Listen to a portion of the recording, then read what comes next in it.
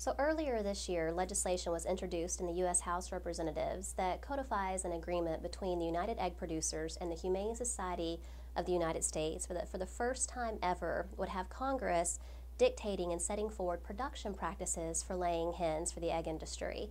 And this legislation has NCBA's members extremely, extremely concerned, and they've given us strong marching orders to do all that we can here in Washington, D.C. to defeat this legislation because of the precedent that it sets. For the first time ever, Congress would be in the business of telling you as producers how to raise your livestock rather than those of us as producers and those of us involved in the industry that our job each and every day is to take care of these animals and put their needs before our very own needs.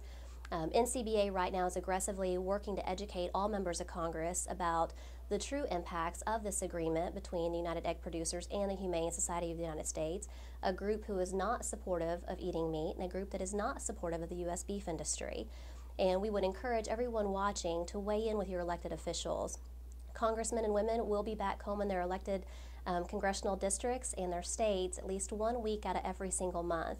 If you don't know your elected officials, sign up on their website or find out how or when their next town hall meeting is going to be and go visit with them and let them know how these, insu- these issues impact all aspects of the livestock industry, including beef producers. So please get involved and do all that you can to help NCBA's grassroots efforts to weigh in with your elected officials and let them know that we strongly and adamantly oppose this legislation.